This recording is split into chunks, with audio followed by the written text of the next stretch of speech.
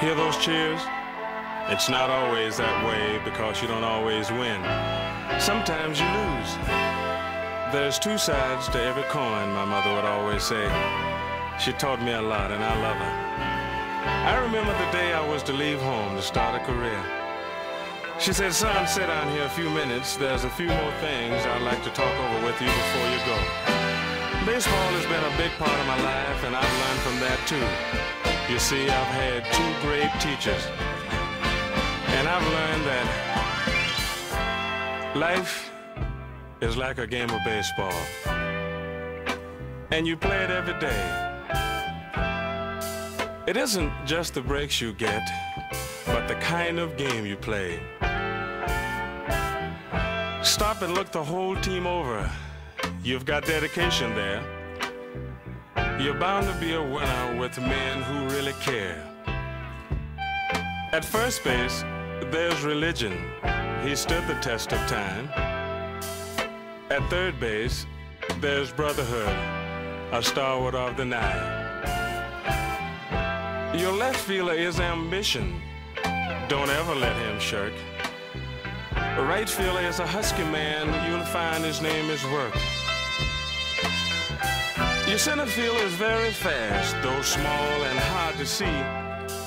So watch, son, when he gets the ball, he's opportunity. Your pitcher's name is courage. You need him in this game. For truth and faith, your keystone men, the grounders they will tame. Your catcher's name is humor. He's important to the scheme. While honor is pitching from the bullpen, your game is always clean.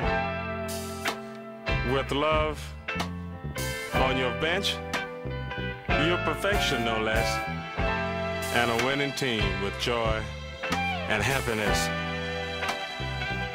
Now, the other team is strong, son. Greed, envy, hatred, and defeat are four strong infielders you'll have to buck to make your game complete. Discouragement and falsehood are the big boys in the pen. You'll have to swing hard, my boy, when you meet up with these men. Carelessness and a man called waste. You'll find them playing hard. And selfishness and jealousy, none can you disregard. There's one more man you'll have to watch. He's always very near. He's the pitcher for this team. I'm told his name is Fear. This game will not be easy.